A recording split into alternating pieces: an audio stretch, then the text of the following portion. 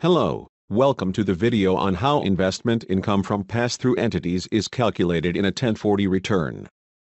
Investment income from pass-through entities calculates from interest, dividends, royalties, capital gains, and other portfolio income entered on the pass-through input.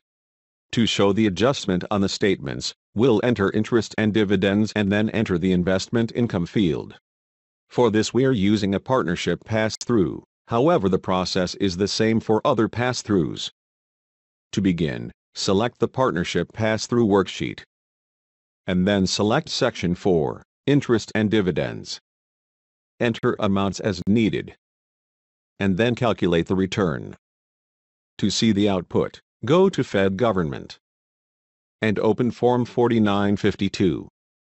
Here we can see the total of interest and dividend income that I entered is on line 4A as well as in the statements. Let's go back to the Partnership Pass-Through worksheet and select Section 2, Activity. If an entry is in the investment income line, it will adjust the dividend and interest income that I entered earlier. Back on Form 4952, notice the amount entered as investment income now shows on line 4A. And looking at the statement, we now see a negative adjustment due to the investment income amount entered being less than the total interest and dividends. If you want the net investment income to make a positive adjustment, in the investment income line, enter the total desired net investment amount.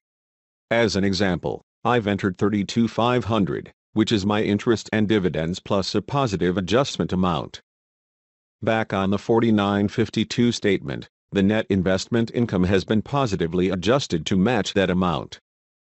Thank you for watching the video to learn how investment income from pass-through entities is calculated in a 1040 return.